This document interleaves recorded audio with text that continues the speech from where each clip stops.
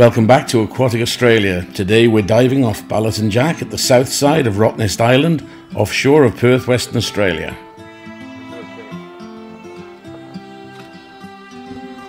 Our first dive is at Doughnut Cave. This is a site behind a reef wall in the south centre of Rottnest Island. We descend over the sand off the side of the main reef wall. The water is very clear today, and quickly we see a large stingray.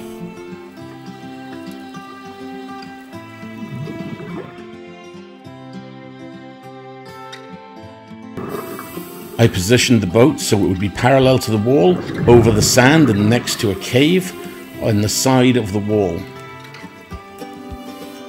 We head across the sand and up the wall to the cave, set into the wall just like a letterbox.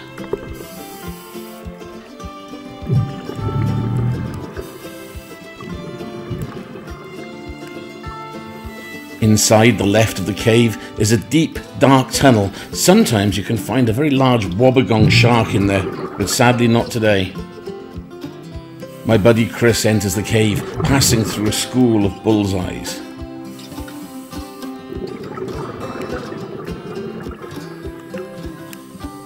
Passing through the cave and the wall, there is an exit the other side, leading to an amphitheatre with caves all around the edges.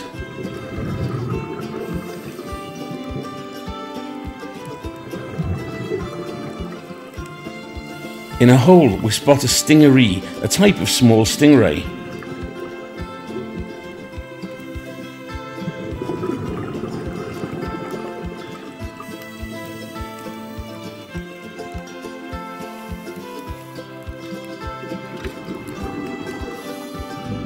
The amphitheatre is sunk into the top of the reef, accessible by the cave through the reef wall. There are caves all around.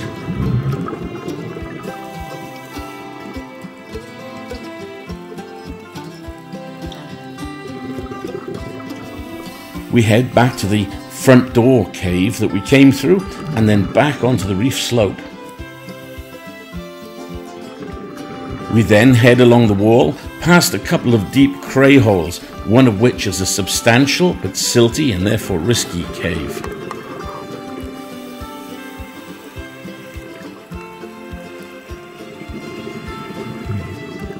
Patrolling along the base of the wall, we see a large stingray coming. These gentle giants are not the fearsome creatures of myth. Rather, they are quite placid and will come right up to the divers. Don't get above them or grab them, and they're fine.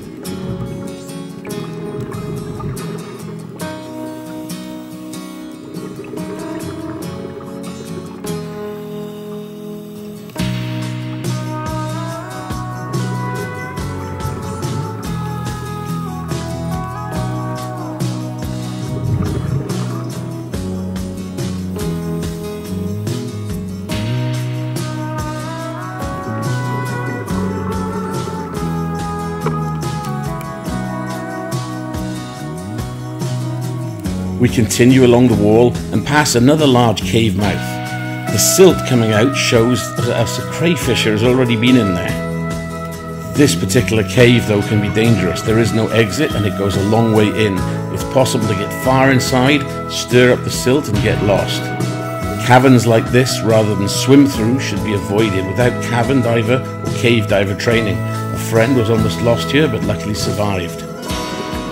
Further along the wall, there are more rocks and reef out on the sand, but for now it's time to turn back towards the Doughnut Cave.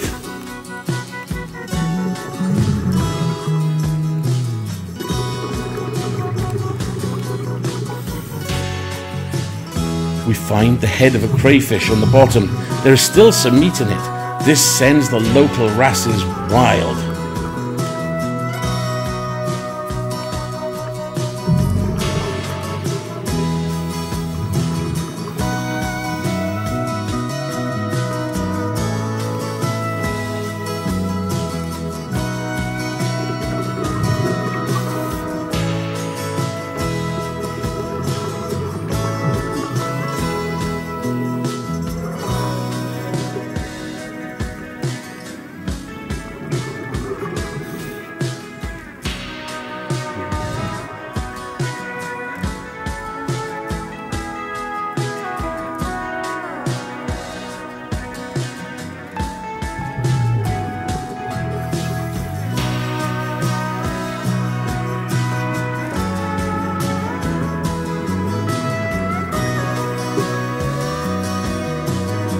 We head back up to the top of the wall, then hang above the top of the donut while we decompress.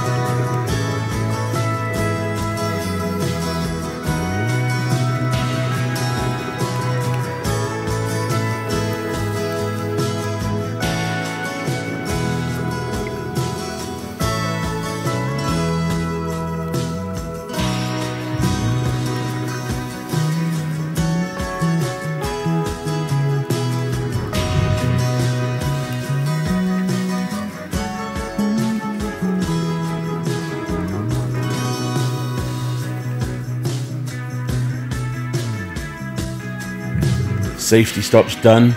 We go back up the line to the boat and finish this dive. Between dives, Chris had to dive to recover the anchor, but the prop then got fouled, so Chris and I had to dive and work together to cut the prop free. While we were drifting, we passed over some interesting looking sights. We anchored again, then I had to dive again to recover the anchor, as it was my turn. In total, Chris and I made four dives on the day, it was quite an eventful day, but a lot of fun. Descending at Crystal Palace, a school of skipjack trevally or skippies swims by us.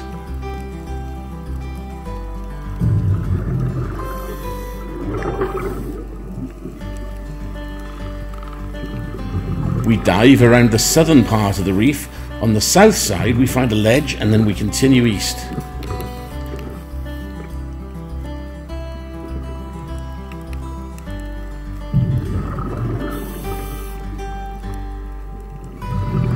In the ledge, I spot a number of crays.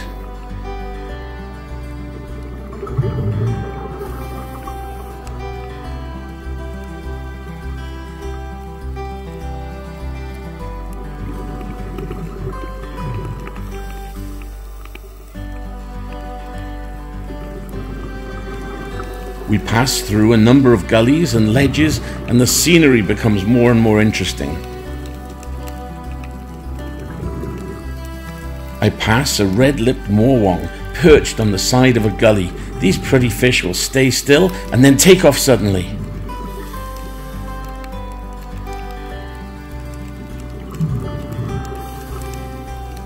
My buddy Chris swims underneath a large arch in the reef.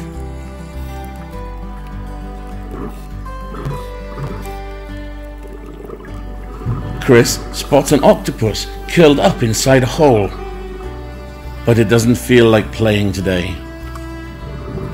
As we go north up the east side of the reef, we find a recess in the wall leading to a large crater, cave, and a giant arch.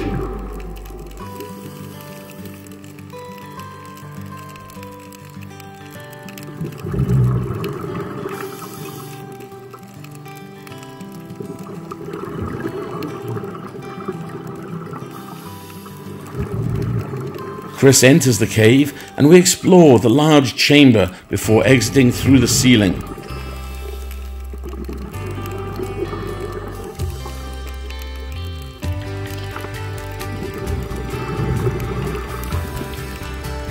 I film Chris as he ascends behind me, showing the size of this crater and conveying wonderful feeling of flying we get underwater.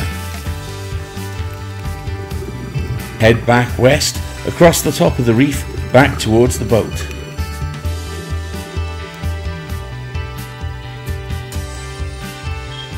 In another smaller crater, Chris and I examine a colourful western blue devilfish closely.